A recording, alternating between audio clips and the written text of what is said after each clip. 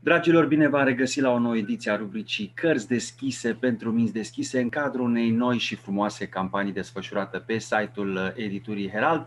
Restabilește echilibrul între sănătate și imunitate. Tu trebuie să vrei și noi îți arătăm cum poți.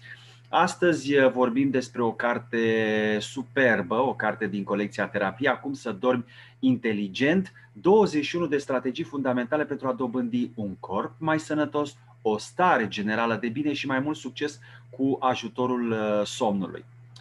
Um, regimul alimentar, exercițiile fizice, nivelul hormonilor de stres, uh, starea de sănătate a intestinelor și cantitatea de toxine din corp, din organism, defectuoasa gestionare a emoțiilor, felul în care noi uh, interacționăm și mai ales reacționăm în anumite contexte, în anumite situații de viață. Uh, faptul că suntem uh, uneori foarte iritați și nervoși, anumite comportamente adictive legate de partea de dependențe, tulburile de alimentație, anxietatea, atacurile de panică, depresia, iată, insomnia toate acestea au legătură cu felul în care funcționează sistemul nostru imunitar și influențează natura bolilor de care noi suferim și de care este bine totuși să ținem cont când vrem să descoperim cele mai eficiente metode de tratament, pentru că uh, pe lângă medicina tradițională, clasică, alopată, există foarte multe uh, terapii alternative sau terapii complementare care ne uh, pot ajuta Uh, să ne regăsim echilibru și mai ales starea de bine, uh, să nu uităm, bineînțeles, și uh, psihoterapia. Iată, de cele mai multe ori, insomnia este asociată cu depresia. Este asociată cu neliniștea și cu anxietatea. Nu putem să ne odihnim bine noaptea pentru că în minte ne vin tot felul de gânduri prăpăstioase, apocaliptice, gânduri negre, gânduri uh, negative. Uh, din cauza unui fapt care ni s-a întâmplat și care are niște conotații negative sau din cauza unui fapt care ar urma să se întâmple, pentru că oamenii sunt specialiști în scenarită și își fac tot felul de scenarii în minte și nu pot dormi uh, noaptea. Și iată, apare uh, insomnia. Ce putem face noi și iată, prin intermediul acestei cărți frumoase putem afla ce putem face în așa fel încât să avem un somn cât mai liniștitor, cât mai profund, cât mai odihnitor și ca intensitate, dar și ca durată. E foarte posibil să dormi 8-9 uh, ore, 10 ore și să, să te trezești obosit și multă lume uh, spune acest lucru, invocă acest uh, fapt și probabil alții dorm 5-6 ore, 7 ore cel mult, dar le dorm cu adevărat și se trezesc foarte uh, odihniți. Chiar auzeam uh, zilele trecute, mi-aduc aminte, uh, soția îmi spunea, sau spunea cuiva, nu mai știu exact, despre faptul că preferă să doarmă mai puține ore, dar să fie un somn uh, foarte odihnitor și profund, decât acel somn în care te trezești, parcă ai mai dormi un picuț și dacă în caz ațipești și mai dormi încă o oră, să zicem, Uh, sau o oră jumate, te trezești praf, te trezești foarte obosit. Și nu ai o explicație, pentru că dacă te gândești la numărul de ore, deci din punct de vedere cantitativ, spui, wow, câte ore am dormit. Da, da. Așa este, Sorina, ai, uh, ai uh, și ai punctat foarte bine și ai și spus foarte multe dintre dificultățile care pot să apară în viața noastră, tocmai din cauza faptului că nu dormim suficient tocmai din uh, cauza faptului că poate chiar dacă um, e să ne gândim din punct de vedere al numărului de ore, poate că e suficient, poate ne gândim, nu știu, am dormit șapte-opt ore și spunem, da, e de ajuns, sau um, apare de multe ori întrebarea, ok, dar am dormit șapte-opt ore și totuși am stările astea, ce să fac? De fapt, vorbim despre calitatea somnului, vorbim despre uh, cât de mult am fost în somn profund, cât de odihnitor a fost somnul. Și apropo de întrebarea ta ce să facem pentru a avea parte de acest uh, somn liniștitor, um, răspunsul este uh, începem cu ce facem de-a lungul întregii zile. De fapt, uh, pregătim un somn liniștit pe parcursul întregii zile prin, um, exact cum povestea alimentație sănătoasă, exerciții fizice, capacitatea de a sta cu noi și cu emoțiile noastre și, bineînțeles, Ceea ce e foarte important este și un aspect pe care îl, îl pierdem din vedere, este partea aceasta de delimitare dintre cum a fost uh, ziua noastră până în momentul în care ne-am pus în pat și cum este ziua și cum practic ne pregătim pe mai departe uh, pentru somn. Asta însemnând luminozitatea din cameră, stimulii care sunt acolo, dacă există ecrane sau nu, dacă aducem noi ecrane sau nu, când suntem în pat, uh, nu știu, de multe ori venim cu telefonul,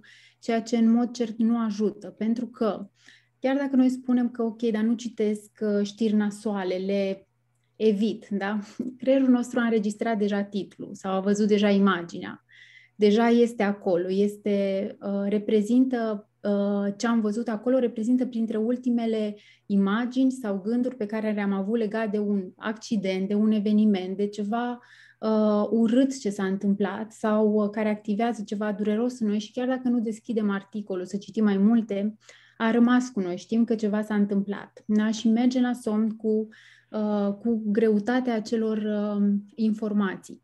Așa că începe de la, exact cum spuneam, cum ne petrecem ziua, cu cine ne petrecem ziua, cum arată camera noastră, uh, cum arată dormitorul nostru, ce avem acolo, da, care să care să ne ajute să facem o trecere lină înspre uh, partea aceasta pe care, din păcate, foarte mult uh, timp am neglijat-o sau parcă nu era așa în... Uh, asta citeam și, uh, uh, și în cartea Cum să dormi inteligent, că foarte mult am neglijat aspectul acesta din ceea ce înseamnă stilul nostru de viață care este unul foarte important, pentru că, de fapt, ne pregătim uh, corpul și mintea pentru a face față unei noi zile. Și uh, este unul dintre, dintre mari piloni ai unei vieți sănătoase, atât din punct de vedere fizic, cât și din punct de vedere emoțional.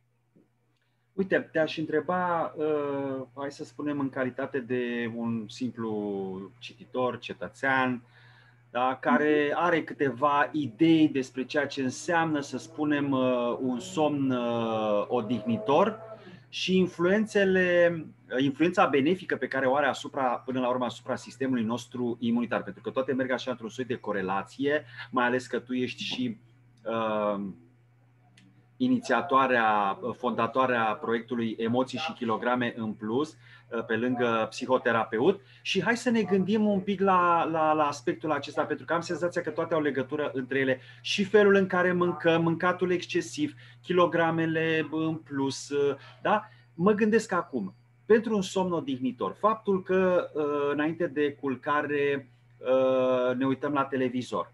Și aici nu mă refer la știri, că sunt știri cu caracter negativ. Faptul că uh, emisiile acelea de radiații da?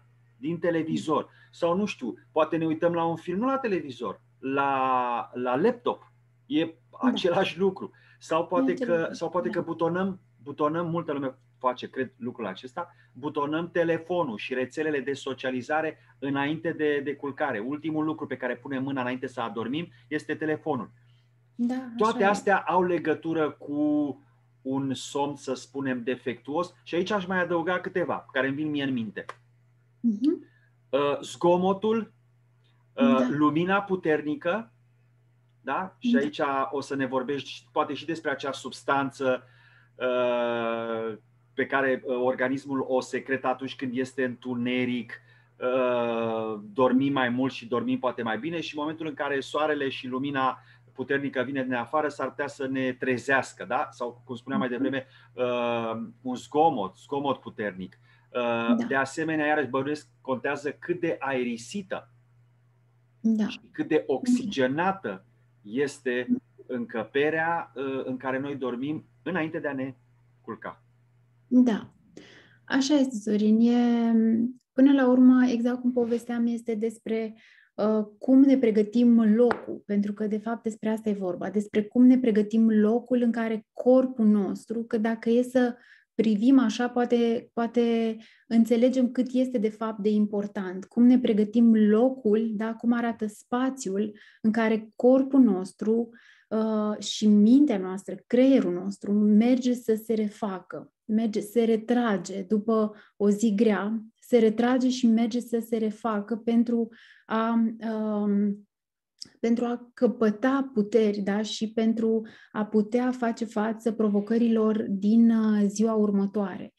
Iar dacă, din păcate, dacă lucrul acesta nu se întâmplă și mai ales dacă este pe uh, o perioadă lungă de timp în care uh, suferim uh, pe partea asta de deficiență de somn, Uh, iată, studiile arată și sigur uh, ne sperie gândul ăsta, dar studiile arată că șansele de a uh, avea, începând de la anxietate până la diferite forme de boli cronice, cum ar fi diabetul, sunt foarte ridicate. Și fiindcă pomeneai despre partea aceasta, despre, despre partea aceasta de tulburări de alimentație, Uh, și uh, partea de supraponderalitate, din nou studiile arată că în cazul um, adulților șansele uh, la șansele cresc înspre, înspre supraponderalitate cu 55% pentru adulți și cu 89% pentru copii atunci când vorbim despre um, insomnii sau um, deficiențe de somn, când nu dormim suficient, când avem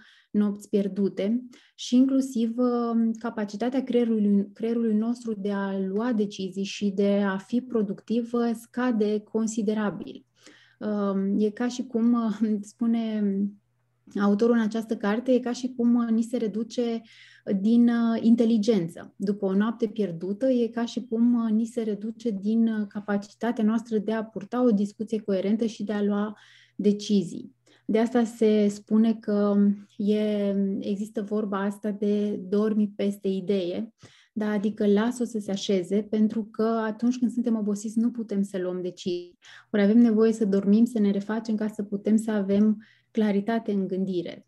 Da? Și uh, este, din nou, uh, important să, să prioritizăm partea asta. Care sunt cele mai bune ore de somn. Și uite, aici iară fac legătura cu proiectul tău, pentru că îmi place foarte mult.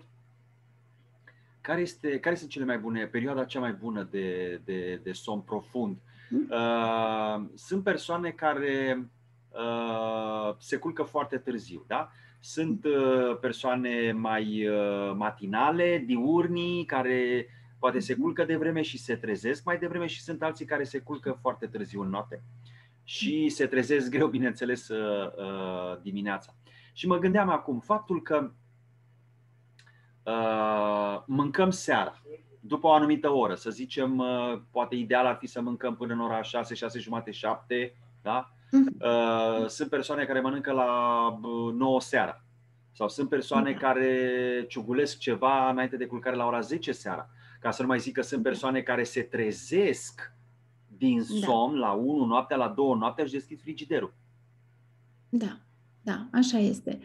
Uh, Sorin, depinde de foarte multe aspecte. Uh, întrebarea pe care tu ai adresat-o depinde de foarte multe aspecte, de etapa de vârstă în care ne aflăm, uh, de, iată, inclusiv stilul nostru de, de viață și, până la urmă, sunt locuri de muncă nu, care ne solicită la un anumit program. Uh, ceea ce este important, uh, e clar că dacă vorbim deja despre faptul că ne, apropie, ne apropiem de miezul nopții și încă suntem acolo, poate chiar cu telefoanele în mână, e clar că asta nu mai e indicat la nicio etapă de vârstă.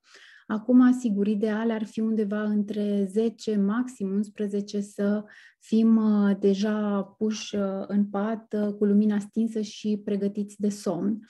Însă, iată, sunt atât de mulți factori, apropo de ce spuneai, uh, partea aceasta cu mâncatul, ideal ar fi să existe măcar patru ore între ultima masă și momentul în care ne punem la somn. Uh, tocmai pentru ca să, uh, tocmai pentru ca să liniștim da, procesele care țin de partea de digestie și să putem să, treptat, treptat, să putem să, să mergem înspre uh, a liniști corpul pentru a dormi și, sigur, el are funcțiile corpului uh, care continuă și lucrează și în timp ce noi uh, dormim, doar că noi putem să le împovărăm mai mult sau nu. Iarăși, sportul la orele târzii, da, îi dăm uh, corpului un uh, boost de energie. Iată, e foarte importantă și partea aceasta, pentru că, mai ales uh, vara, pe măsură ce se întunecă mai târziu, există tendința asta a oamenilor de a pleca la alergat, de exemplu, la ore târzii, nu știu, 9 seara. Dacă am plecat la 9 seara și m-am întors la 10 sau am plecat la 8 și m-am întors la 9, uh, corpul deja are foarte multă energie și e ca și cum îl pregătesc pentru un început, dar îi spun hai să dormim, de fapt și atunci poate să fie confuzant. Ce, um... Dar nu este, scuză-mă, dar nu este, ai, ai punctat extraordinar de bine, pentru că uh, cel puțin în această campanie axată pe, pe sănătate și pe sistemul imunitar, vorbim și despre exerciții fizice și despre mâncatul excesiv și iată acum despre somn. Dar stau și mă întreb, uh, faptul că ești în parc, uh-huh. în, loc de a sta, în loc de a sta poate pe telefon sau de uh, la televizor, și faptul că ieși o oră și alegi de la 9 la 10. Uh-huh. Uh-huh. Oricum mi se pare mult. O oră, da. da. E ok, ne raportăm la ora da. asta. Uh, după o oră de alergat, sau aproape o oră de alergat, corpul, organismul, nu obosește. El, de fapt, da. își consumă energia. Da. Că noi, noi, noi, noi energia avem înainte de a începe să alergăm. Mhm. Ori după o oră de alergat, da? la ora 10, venim acasă, se presupune rupți. Da? Și mă gândesc, facem repede un duș, nu mai mâncăm, clar, nu mai mâncăm, facem repede un duș și dușul înainte de culcare și are rolul lui, da, între, în a te odihni bine, uh, facem un duș și ne-am culcat. Pentru că noi suntem sleiți de energie, că am consumat-o alergând. Uh-huh, uh-huh. Cum e până da. la urmă? Uh, teoretic, da, însă, practic, uh, e nevoie să ne gândim că la finalul unei zile corpul deja e obosit deja la ora 9, da, orice facem este să-l dăm un pic peste cap. Deja la ora 9 corpul este obosit, deja noi uh, intrăm în starea aceea de a ne retrage înspre a ne odihni corpul. Ori ceea ce facem este să-l forțăm să intre, da, și vorba și de substanțele pe care creierul nostru le secretă, da, partea aceea de uh, neurotransmițători. Uh, serotonină, dopamină, oxitocină, uh, care au și ele, da, uh, poate chiar adrenalină, iată, dacă se întâmplă, nu știu, să ne sperie ceva în timp ce alergăm, care toate astea fac sistemul nostru să fie alert, pe de o parte, sau pe de altă parte, să fie pregătit să mai continue din zi, deși ziua este înspre final. Așa că da, sunt momente în care probabil picăm da, din cauza oboselii, Uh, și sunt momente în care uh, e ca și cum îl uh, energizăm și îl pregătim pentru a continua, chiar dacă ziua se încheie acolo. Cert este că uh, exercițiile fizice da, sunt uh, indicate poate în, mai ales în prima parte a zilei. Acum, din nou, depinde. De exemplu, există, uh, este partea de yoga, da, dacă este să intrăm mai specific pe care există inclusiv yoga pentru somn sau pentru insomnii, da? care deja e un alt ritm depinde de tipul de exercițiu pe care îl fac. Unul care, nu știu, mă agită și poate intru chiar într-o stare jucăușă, cum ar fi um, sporturile de echipă, da? cum e sportul de echipă, nu știu, handbal, volei, fotbal, unde merg și poate ne distrăm și ne simțim bine și intru într-o stare jucăușă și deja nu mai, uh, nu mă mai gândesc sau corpul meu nu mai merge înspre a se pregăti pentru somn. Da? Și atunci un pic îl dau peste cap. Dragii noștri, am vorbit astăzi despre uh, o carte superbă, Cum să dormi inteligent, 21 de strategii fundamentale pentru a dobândi un corp mai sănătos, o stare generală mai de bine și mai mult succes cu ajutorul somnului, de Sean Stevenson, o colecție pe care o puteți găsi pe site-ul editurii Herald în uh, cadrul colecției uh, Terapia, în cadrul acestei campanii Uh, desfășurată pe site-ul editurii Herald restabilește echilibrul între sănătate și imunitate. A fost alături de noi uh, Ancuța Coman, uh, psihoterapeut, inițiator, fondator al proiectului Emoții și kilograme în plus. Am vorbit despre importanța, marea importanță a somnului pentru starea noastră de bine, pentru starea de uh, sănătate și de echilibru, de menținere în parametrii normali, optimi, funcționali a sistemului nostru uh, imunitar. Bineînțeles, în uh, uh, colaborare, aș spune, și cu uh, exercițiile fizice, somnul uh, foarte odihnitor, uh, o dietă sau un regim alimentar foarte uh, echilibrat toate acestea își pun cumva amprenta asupra uh, stilului nostru, modului nostru de viață și, cum spuneam, asupra sistemului uh, uh, imunitar. Ancuța Coman, mulțumim foarte mult! Dragii noștri, noi ne dăm întâlnire la o nouă ediție a rubricii Cărți deschise pentru miți deschise. Am fost gazda noastră, Sorin Lucaci, și vă doresc o zi minunată, lectură plăcută și, mai spre seară, un somn cât mai odihnitor. Vă mulțumim foarte mult, să aveți o zi frumoasă. La revedere! La revedere!